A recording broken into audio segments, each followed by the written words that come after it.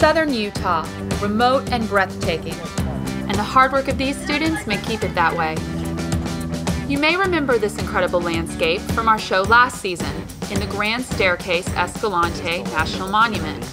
That's paleontologist Alan Titus, and that's me, breaking a 75 million year old dinosaur bone. Oh, you broke it. It's okay. I should not be allowed to touch the dinosaur. Here at Grand Staircase, we have a mandate to do research on public lands, everything from bees all the way up to these amazing dinosaur finds. Let's get planting! Students at Kanab High School are unearthing answers to a modern challenge, restoring a native plant called winter fat. Wow, that winter fat looks gorgeous, doesn't wow, it? Yeah, this is good. That What's the that's a success right there. They're using old-fashioned hard work and GPS technology taught by experts from the Bureau of Land Management. And you find your easting number, 365. So here's your 360, 361 line, 362. Yeah, right up there. Okay, so everybody's got point two ready to try and find it? My mission is to get as many kids as we can back outside. My name is Wade Parsons. I'm the education specialist for the Grand Staircase Escalante Partners. I believe over time we'll see a, a, greater diversity of species on this plot as well. As an educator and as an archaeologist and as someone who's concerned about the natural environment, uh, one of the things I have noticed occurring is that our youth are getting further and further away from nature. Grand Staircase partners, along with the BLM and the Captain Planet Foundation, make it possible for these kids to help restore the land. They started by gathering seeds from healthy winter fat plants, then growing about 100 new plants in their greenhouse. And we're putting them on the floor here. Bringing the orange one in here, Danica. Fence guys there. Weeders here. GPSers here. Where's the GPS? Planters here. One for you. One for you. Get rid of the weeds a little bit, right? Around it.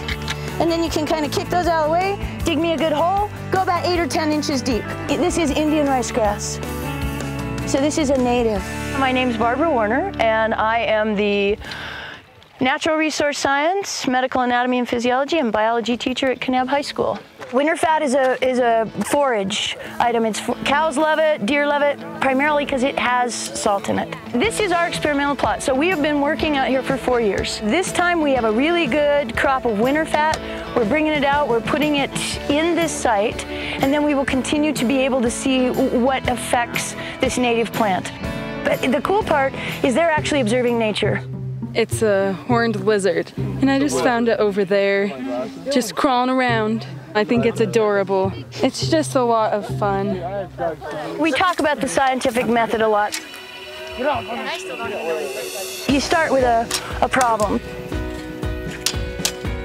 So the problem is, wow, the range is going down a bit.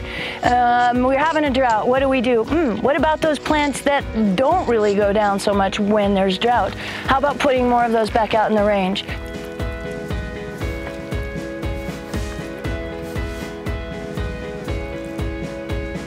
They have a better chance of survival. Like if they have longer roots, they'll survive better in the desert, and that's something I learned. I'm taking GPS locations of these plants and then we record them so we can know which ones survive and which ones don't over the next couple years. It's kind of become almost a reward to be able to plant them today after we've put so much work in the greenhouse. When I'm learning something in a classroom off of a PowerPoint or a book, it's easy for me to just memorize it for the test and then I forget it later. But when we come out here, it's something that you can remember and apply it to what you do. These small number of plants, does it make a difference? Absolutely. We've had a hard time establishing winter fat on these grazing areas that used to be pretty bare. and uh, these little plants are helping us recover the ecosystem that will allow us to do sustainable grazing on this land for generations to come. Public lands are outdoor laboratories where people can come do research for themselves to learn about these areas, or also they can combine it with universities or with government agencies. I'm Roger Cole. I'm the uh, executive director for the Grand Staircase Escalante Partners. What we provide are staff to work at those programs, and also we provide some independent dollars, like from Captain Planet, that helps us provide those programs to purchase seeds, to purchase equipment, and the expertise we need. It's really quite exciting. They did a really good job. I think it just goes to show that if you give them a task to do and tell them that they can do a great job and you give them a little direction, sometimes they will totally surprise you. And that is the best.